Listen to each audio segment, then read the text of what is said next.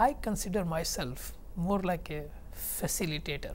At the end of the day, I am accountable for whatever happens at the school.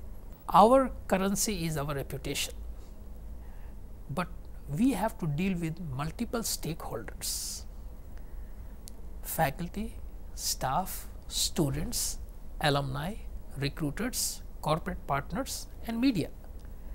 So, my role is to make sure that we have all these pieces well synchronized. You hear the voices of different groups and you have systems and processes in place such that work gets done at the right time and my role would be to delegate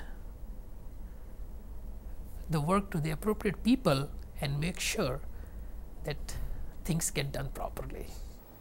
I truly believe delegation is not only for distribution of work, but delegation is important for succession planning.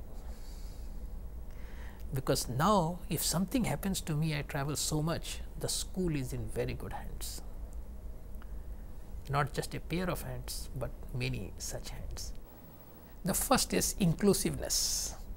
Second, I would say non hierarchical. And third word, I would say participative. I am not a person I would use that I am the dean of the school, so you have to do this. Rather than power, use influence. Inclusiveness, let people say what they have to say. So, include them in the decision making rather than they hear from someone else.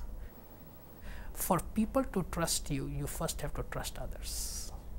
And I have worked with them I have been at the school now 21 years and uh, you cannot be at the top position without having a level of trust in some of your key people and if you trust them they will never go against you. Micromanagement is the other name of mistrust. Th that's my personal belief. This is my own saying that micromanagement is the other name of mistrust and second for you to trust you have to be secured. Insecure personalities cannot compromise on trust. It's not a question of it takes time. You look at people in the school you see their teaching you interact with them.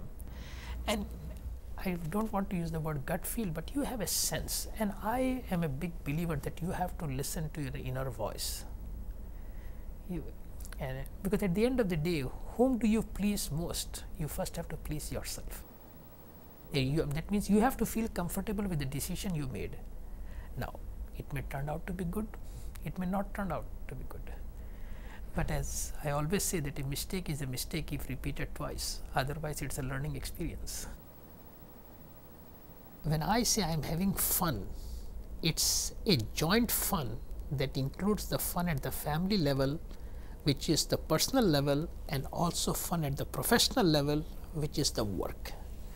So, it is not that you optimize one or the other, you optimize the joint thing. So, in an Indian system we grew up in a joint family system. Five of us in the family, we all live together till today my father would live with us. If we work in the same town, we live together.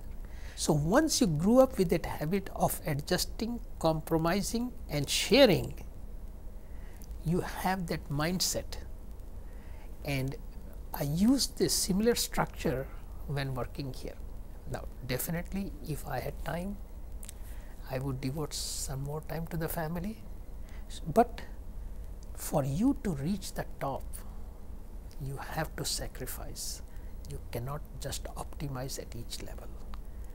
So, some sacrifice we all make, but that sacrifice is worth making because my family knows that life is about making a difference.